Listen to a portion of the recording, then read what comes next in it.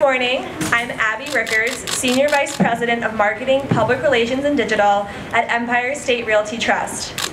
I'm pleased to welcome you all to the world-famous Empire State Building for our tower lighting ceremony to celebrate the 2023 draft of the Women's National Basketball Association.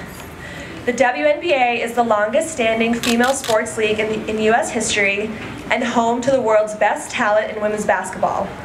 Today, 36 draftees will be selected to their new teams ahead of the league's 27th season, and our iconic tower lights will shine orange to celebrate them. Now, it is with great pleasure that I introduce our special guests, the WNBA draftees, who will light the Empire State Building today but before they do the honors, I'd like to invite WNBA Commissioner Cathy Engelbert and Kelsey Mitchell, Indiana Fever player, to the podium to say a few words.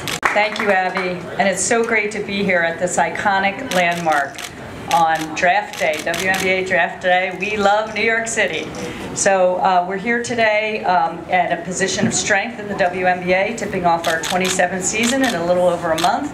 Training camp starts soon, ladies, so get ready. Uh, and we're just so pleased uh, at the trajectory the momentum. You saw the strong momentum coming off the NCAA March Madness Women's Championship.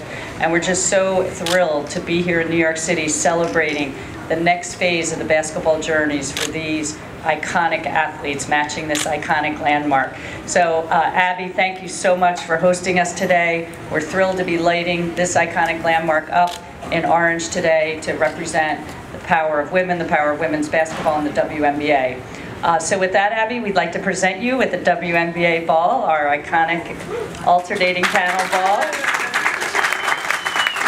Let's see your shot, at me right now. Let's see, let's see it. um, but anyway, thank you so much. And now I'd like to introduce Kelsey Mitchell of the Indiana Fever, who um, they have the first pick in the draft tonight at 7 p.m. Eastern on ESPN.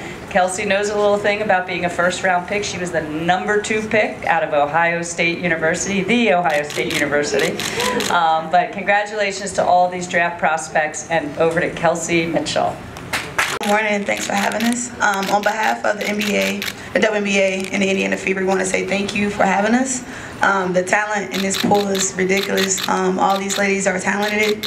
Um, it's a lot of great basketball coming to the league, and on behalf of the number one pick, uh, we're just grateful to be around. Um, I think individually for us, um, it'll be a good step for us going into the season. But to the draftees, congratulations. You guys deserve it. Um, and I'm just here to watch. It's going to be amazing. Um, like I said, it's a great day for women's basketball. Um, and considering the energy that's around it, um, it's going to be an amazing atmosphere um, through and through the entire season. So um, take on this journey with us, with them, and let's make sure we celebrate this and celebrate them. Remember the time you lit up the Empire State Building, so here is a gift. And um, I'll take it. I'll pass it back to oh, okay. Yeah, yeah, yeah. Yeah, pass it down, that's fine. And then we're ready to light the building.